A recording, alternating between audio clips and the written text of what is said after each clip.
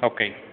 Para poder sacar la llave del ballet parking, ok, más bien para poderla separar y dársela al ballet parking, es muy sencillo. La llave viene integrada en el mismo llavero, se apachurra este botón de aquí, sale la llave, esta llave se puede utilizar para cerrar la guantera, cerrar los asientos de atrás y el switch de la puerta.